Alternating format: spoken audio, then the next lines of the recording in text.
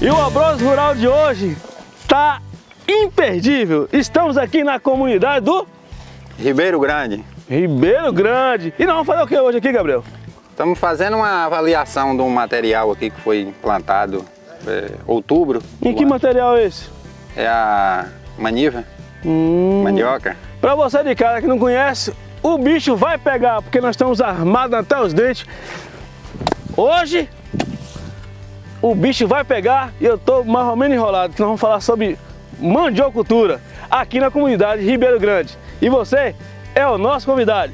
Vem comigo, bora Gabriel, bora Gabriel, bora Gabriel, bora Gabriel.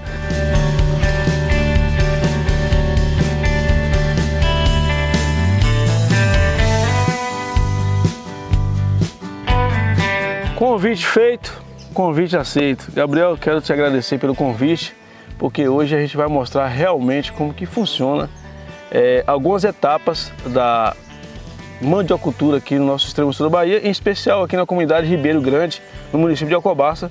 Você como líder comunitário, um cara que cabeça, um cara que desenvolve aqui também juntamente com, com a comunidade. Hoje a gente vai falar sobre a mandiocultura. Gabriel, eu notei aqui, a gente brincou ali na, na chegada com o enxadão, mas rapaz, impressionante o que a gente está vendo aqui. Qual a finalidade hoje da nossa vinda aqui, Gabriel? Fala para nós. Hoje a finalidade, a gente também queria agradecer o- a presença de vocês aqui, né? Para estar mostrando esse trabalho, né? E a importância, né? Do, do- da mandiocultura no nosso município aqui de Alcobaça, que é, tem mais de 700 farinheiras, né? Rapaz, fiquei impressionado você falando isso aí. É verdade mesmo, tem Isso, 700 mais farinheiras? de 700 farinheiras. Qualquer comunidade que você for aqui no município de Alcobaça aqui, é várias farinheiras. Mesmo pessoas que não trabalham constante Hum. com a farinha, mas tem sua farinheira. É Então- tradição, né? Desde... Pois é, é, aí você me falou assim, ô Mago, bora lá que o pessoal da Embrapa vai estar com a gente lá. Então hoje é um dia de avaliação também aqui, é, vai ter ter avaliação do pessoal da Embrapa, que eu estou vendo aqui vários é, é, é, tipos de mandioca. Como é, o que, que, tá, que, que a Embrapa vem fazer aqui hoje? A, a Embrapa, através da, da associação, a comunidade, em outubro do ano passado, fez uma implantação de 50 clones de variedade aqui na nossa comunidade para estar fazendo novos estudos, né? Por conta, a gente trabalha aqui só com uma variedade de caravelas. Essa variedade já está começando a apresentar é, doenças, né? E hoje está aqui colhendo aqui essa, esses clones que foram implantados para fazer os estudos para ver qual, qual variedade adapta aqui na, na nossa região que são resistentes né, à doença. E a gente é, acredita nisso aí no desenvolvimento da, da Embrapa, né? Um exemplo eu vou dar para você Hum. aqui. Antigamente aqui quando a gente mexia com gado só plantava é, a napier. Ah. Depois a Embrapa desenvolveu o capim-açu, a gente plantamos Então a Embrapa sempre está desenvolvendo, né? e essa Embrapa sempre desenvolvendo. Aí do capim-açu veio hoje um capim mais rápido, que é o curumim. E a gente acredita aqui também na parte da, da mandiocultura, que é o, o município é composto mais pela mandiocultura aqui de Tá, Alcobaça. uma pergunta, é, nessas variedades que está tendo aqui, tem a, varia- a variedade industrial, mas também vai ter a, a de mesa? Isso. A de mesa é aquela que a gente come, aquela, É. aquela gostoso que a gente come com carne de sol ou no café da manhã. Isso. Então, essas variedades também vai ter, é, é, é, esse estudo também abrange a mesa também. Isso, dentro dessas 50 variedades tem a, a industrial, que ou seja, é a que a gente produz a farinha, que não serve para comer, entendeu? consumo direto, Isso, no, o consumo direto, e tem a, também a do consumo direto. E, e você vai mostrar para nós? Vamos mostrar. Ô, gente, hoje eu sei que vocês sabem que. Eu sei que vocês sabem, é redundante. Eu sei que vocês já acompanham a gente e sabem que quando a gente vai num local, é abóbora, é melancia, a gente tem aquela bestagem, mas é uma bestagem gostosa de experimentar a mandioca. Hoje eu vou experimentar a mandioca in natura, ou seja, é, Gabriel vai me conduzir aonde que tem a mandioca que a gente pode a mandioca de mesa, né? Porque eu não posso Isso. comer essa mandioca aqui, a outra que é industrial. E nós vamos mostrar realmente o que uma comunidade unida é capaz de fazer com o apoio da Senar e Embrapa. Isso, Embrapa. O Senar também É. já tem o, o técnico que dá assistência a todos os produtores de mandiocultura da comunidade aqui. Isso é muito importante porque a gente precisa dessa assistência para desenvolver. Desenvolver. Porque essa variedade que a gente plantamos hoje, é, planta aqui no município a caravela, ela dá em média 15, 20 toneladas por hectare. Hum. Essas variedades aqui, os estudos aqui, quando ela adapta na região, droba de 35 a 40 toneladas por, por hectare. Eita, gente, é só bênção. É, gente, é esse pessoal que põe é, a comida na nossa mesa. A gente tem que valorizar o agricultor. A gente tem que valorizar o Sindicato dos Produtores Rurais Teixeira de Freitas na pessoa do Sodori, o Senar FAEB na pessoa do, de Rui, Co, é, Rui Costa, de Rui Dias e doutor Humberto, e na pessoa também do, do da Embrapa. Isso. A Embrapa, ela, ela dá um apoio fantástico e nós vamos mostrar isso tudo na prática, daqui a pouquinho.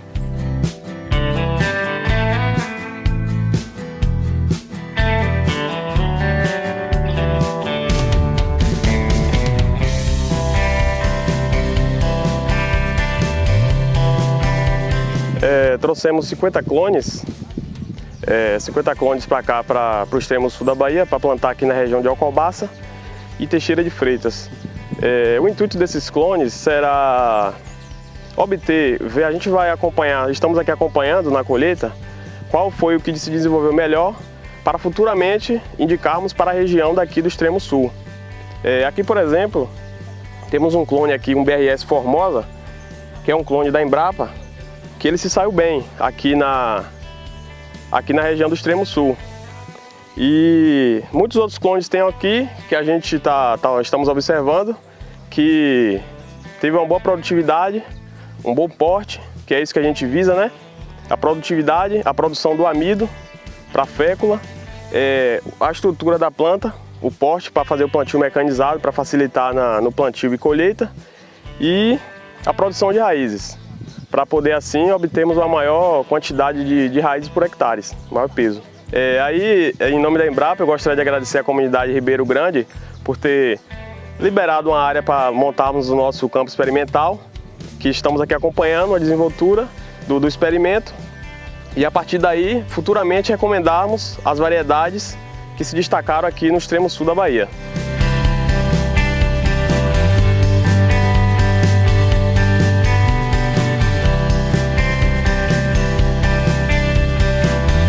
Começamos o trabalho aqui na comunidade em maio, maio desse ano de 2023, né? A gente presta consultoria aqui para os produtores aqui na comunidade de Ribeiro Grande. A comunidade que ela se destaca pela produção de mandioca, então a agricultura familiar aqui é muito forte. E a gente tem aqui a parceria com a Embrapa, onde trouxemos aqui para a comunidade de Ribeiro Grande um ensaio com 50 novos clones de mandioca, né? A fim aqui de potencializar a produtividade dos produtores, em trazer material com grande melhoramento genético, né? onde que a Embrapa busca material com boa sanidade, material bem produtivo, material com pureza varietal, também para facilitar o plantio mecanizado aqui na comunidade.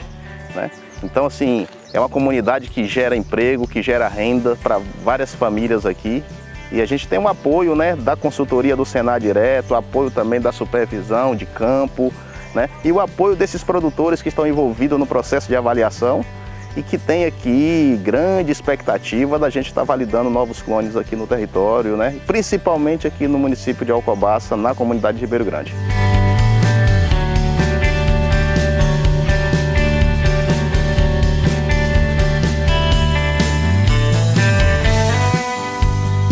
É muito satisfação para nós vocês estar aqui, entendeu? Com nós, com essa agricultura, dessa qualidade, dessas 50 qualidades de muda de mandioca, entendeu? Que nós está plantando aqui para poder selecionar a que é melhor para nós aqui, por causa que nós tem aqui várias várias qualidades, que é a unha, a caravela, a camuquém, a serradeira, a pretinha. Então é umas mandioca que sempre ela tá vindo assim, dá boa, mas quando chega num certo ponto, ela tá dando uma doença. Então a gente tá fazendo dessa aqui para poder selecionar, ver se essa é mais interessante para a gente. E a gente já tá vendo o resultado aqui. Foi uma coisa que a gente plantou sem adubo e a gente tá vendo. E a que nós está plantando, que é a caravela que eu tô te falando, sempre a gente planta adubada e chega num certo ponto, ela tá dando uma doença, entendeu? E a gente fica até com medo, tá até secando o olho. E aí por causa desse problema que a gente está plantando essa outra aqui para poder fazer essa experiência, entendeu?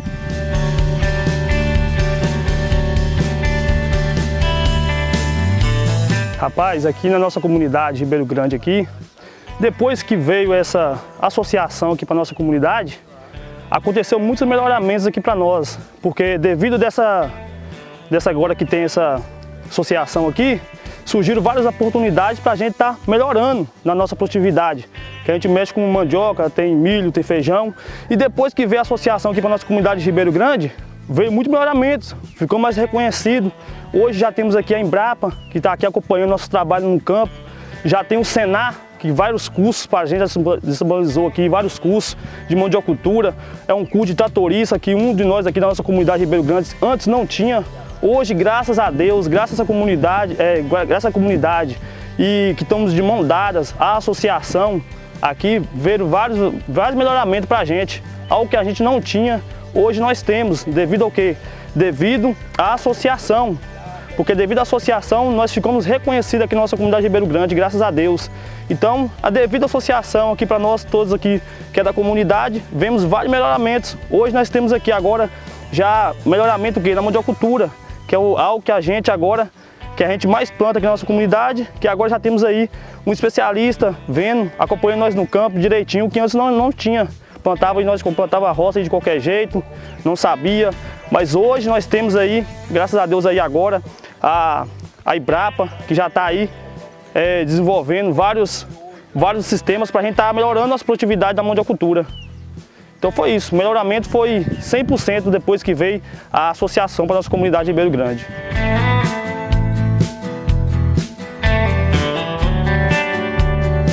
É, em nome do Senar, nós agradecemos à comunidade de Ribeiro Grande né, por, pelo serviço prestado. Né?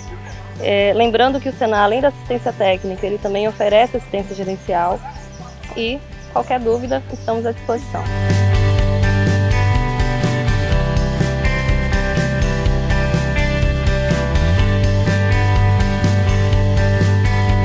Gabriel, chegamos aqui dentro da da roça da mandioca. Nós já falamos da mandioca industrial. Esse aqui é um pé de mandioca de mesa, é isso? Isso. Então, sim, mas eu quero saber o seguinte. Tá fácil arrancar esse negócio aqui? Tá não, porque o sol tá quente demais. Ô, gente, nós estamos numa lua desgramada aqui, mas é, é, é, a verdade. Então, arranca pra nós aqui. Eu não vou arrancar não, porque minhas costas é ruim. Arranca aí, arranca aí. Ô, Gabriel, haja coluna, hein? Haja coluna. É. Então essa aqui é a de mesa? Isso, essa aqui é uma variedade das de mesa que foram implantadas aqui. Ah, tá. É que, essa aqui não estava aqui antes, não. Ela, ela, também faz parte daquele projeto Isso, da Embrapa? faz parte do projeto da Embrapa. Ah, e aí? E Vamos aí, ver. Como a gente arrancou ela aqui agora... Meu Deus do céu! Deixa um pedacinho para nós ver aqui. Ô Gabriel, eu não entendo muito de mandioca não. Essa, essa mandioca, tá enxuta, que o pessoal fala, mandioca enxuta, como é que tá ela aí hoje? Tá enxuta. Tá enxuta. A mandioca aqui, você olha pelo o miolo dela aqui. Ah. Ó, gente, que coisa mais linda. Do... Come ah. um pedacinho aí e faz o teste. é descarado. É mesmo? Como é que eu... Comer um pedaço de mandioca in natura. Você de casa aí, mais uma vez, ficou com a boca cheia de água. Ó, gente, isso aqui, ó a mandioca que ele fala, ó. Imagina isso aqui com carne de sol. Ó, imagina isso aqui no café da manhã. Eita! Já tá comendo mandioca. Também se comer uma mandioca. Se você comer uma mandioca dessa aqui, você passa o dia todo, porque o bicho é forte. Todo é forte. Hum, gostosa. Pois é, gente.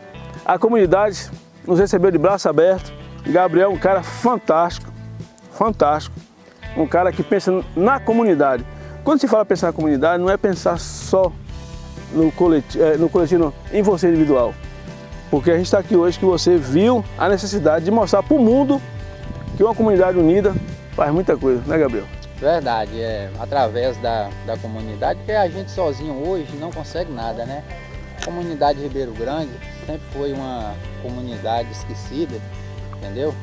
A gente, há 2017, formamos, criamos essa, essa associação E de lá para cá, com a união de todos os moradores, a comunidade de Ribeiro Grande hoje está em outro, outro patamar. Que bom, né, velho? E a gente faz aqui várias mutirão, qualquer coisa, precisa arrumar uma ladeira, fazer uma ponte. A comunidade reúne? A comunidade reúne, entendeu?